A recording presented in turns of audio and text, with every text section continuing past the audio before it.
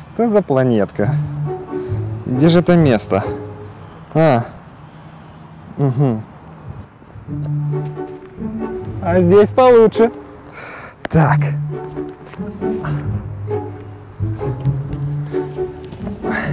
Так. Где ты тут? Ага. Запустить программу 42.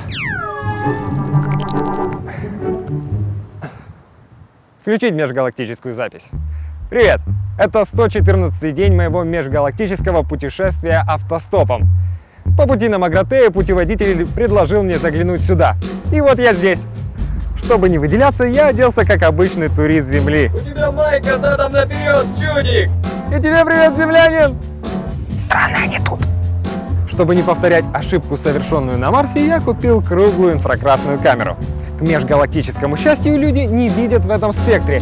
И им показалось, что я спятил и разговариваю сам с собой. И я сразу вписался. Земля, земля, земля, земля. А, согласно путеводителю, Земля – это родина потомков обезьянинов. Главной достопримечательностью Земли является Приднестровье, которое забавным образом в земных рамках ничем не достопримечательно. Земля, что-то знакомое. Земля. Земля – это же родина знаменитого британского писателя Дугласа Адамса, которому однажды попал один из таких путеводителей. И он на его основе написал сатирический роман, который стал известен во всей вселенной под названием «Автостопом по галактике». Сейчас вы все узнаете. Компьютер, расскажи им. Артур Дент, журналист Земли, в один прекрасный день узнал, что его дом, в котором он мирно жил, хотят снести и построить объездную автостраду. На это он ответил решительным валянием в грязи перед экскаватором. От этой глупой затеи его отговорил недавний друг по имени Форд Префект, который на поверку оказался пришельцем с одной из планет звезды Бетельгейзе. Форд предупредил, что с Земли нужно бежать, и потом взял друга в охапку и автостопнул с Земли, которая в тот же момент была стерта с лица Вселенной.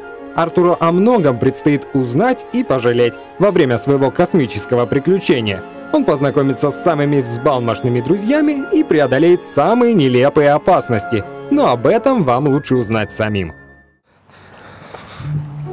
Интересный факт. На Земле дождь идет прямо с головы и из подмышек. Так, о чем это я? Ах, да, у Дугласа получилась весьма оригинальная и забавная книга. Но не думайте, что это фантастика, приправленная юмором. Это скорее юмор, завернутый в фантастику. Мне кажется, нужно верить в светлое будущее, потому что глупо даже рассматривать что-то иное. Мой друг, компьютерный дизайнер Алан Кей, однажды хорошо сказал, лучший способ представить будущее — это создать его. Нам нужно думать, что будущее всегда можно изменить, потому что чаще всего выживает то, что способно измениться к лучшему. Такие творения проще контролировать, потому что с ними не нужно бороться. Дуглас Адамс написал пять книг своей знаменитой трилогии, и в 2001 году его не стало. На самом же деле он благополучно покинул Землю, и теперь его можно частенько встретить по пятницам в одном ресторанчике на краю Вселенной, где он размышляет о жизни, Вселенной, да и вообще. Наш вердикт Земле? М -м, сносно и в основном безвредно. Всем пока, конец записи.